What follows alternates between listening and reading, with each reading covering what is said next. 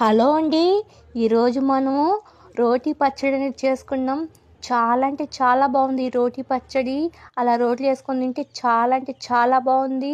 ముందుగా అయితే మనం దానికి కావాల్సినటువంటి నీట్గా తరుగు పెట్టుకున్నాం కదా పెనువలో నూనె పోసుకొని ధనియాలు అనేది వేసుకోవాలి. స్మెల్ బాగుంటుంది కదా ఉద్దుపప్పు కందిపప్పు ఈ మూడు రకాల మంచిని పప్పు ఈ మూడు రకాల పప్పులు దాంట్లో వేసుకొని దోరగా వేయించుకున్న తర్వాత ఇప్పుడు ఒక ప్లేట్లో తీసుకొని అదే పెనులో నూనె వేసి పచ్చిమిరకాయ ముక్కలు అనేది ఇలా తుంచుకొని వేసుకొని కొద్ది మగ్గినాక ఆ తర్వాత ఎర్రగడ్డ ముక్కలు అనేది వేసుకున్నాం కదా ఇప్పుడు అల్లం ముక్క అనేది వేస్తే బాగా స్మెల్ ఉంటుంది.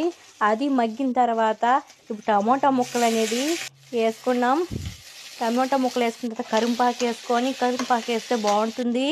ఇప్పుడు చింతపండు దాంట్లోనే వేసుకొని ఈ పసుపొడి కొద్దిగా వేసుకొని ఇప్పుడు కొంచెం అది మగ్గినాక ఒక ప్లేట్లో తీసుకొని ఇప్పుడు రోట్లో అయితే మనము ఆ పప్పులు అనేది పోసేసి టమోటా పచ్చిమిరకాయలు అన్నీ దాంట్లో వేసినాక ఇప్పుడు తగినంత ఉప్పు వేసుకొని ఇప్పుడైతే మనం ఆ నీళ్ళు అనేది దాంట్లో పోసుకున్నాం.